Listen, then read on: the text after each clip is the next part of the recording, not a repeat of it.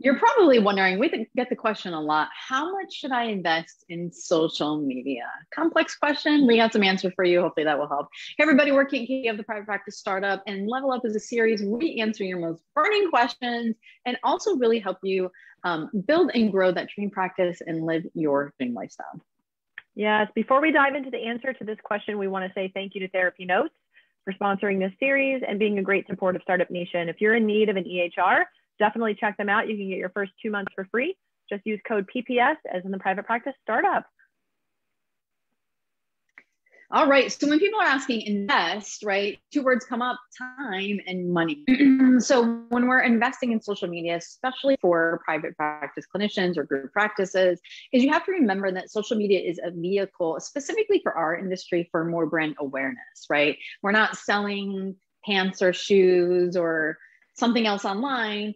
Um, it's really about brand awareness, and people need to have like five to 12 touches with your company um, to really trust it and reach out. And with therapy, a lot of times it's even more, right? Because you know, they might not have an issue right away, but they start following you. You're giving great mom tips to deal with two year olds that have temper tantrum and they're following you and oh no now it's just gotten way out of hand because now i have a new baby and i have a two year old and my life just feels unmanageable now they want to reach out to you so when we talk about social media and any type of marketing, which you probably have heard from us before, is consistency is key. What I find that most clinicians get into trouble with is um, trying to do all the things, right? So when we talk about investing time um, and money, um, it's really figuring out a system that works for you. Kate and I often talk about working on your business. So if you're going to invest your own time, right, you're not going to outsource this, is we really think it's very important to have a schedule um, and know when you're posting um, and sharing. And also, you have to go back to engage on social media. That's a really important aspect.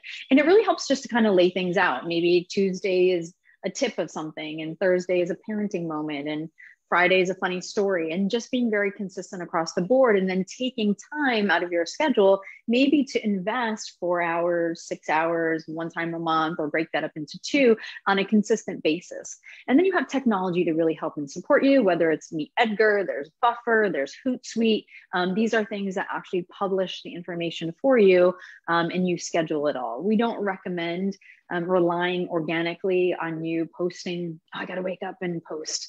Um, that becomes pretty overwhelming. All right. So I'm going to hand it over to Kate because I can keep talking about this stuff. yeah. And uh, Katie touched on a lot of really great points there. And you really talked about the DIY aspect. So if you want to DIY it and you want someone to do it for you, it's there's a lot of different options out there. You can certainly explore bringing on a social media manager.